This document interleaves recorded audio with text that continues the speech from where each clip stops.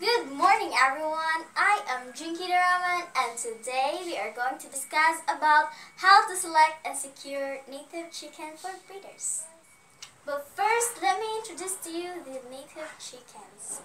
This is a darag or a female native chicken and this is the alimbuyog or dilabuyo or the male native chicken. So, in selecting body conformation should be like the shape of banana blossom, good mothering ability, wide and pliable vent, have alert eyes and red comb, well groomed and no physical deformities.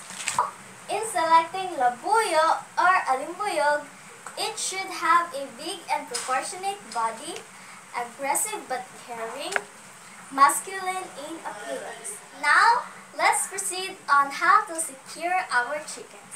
In securing our chickens, the house should be well ventilated, protected against strong winds or inclement weather. The site should not be prone to flooding away from dense human population and main roads, secure from theft and harmful animals. And third is Cleanliness should be strictly maintained in and out of the house. Remove dirt, feces, and unnecessary things inside the house. So those are the ways of selecting and securing our native chickens for breeders.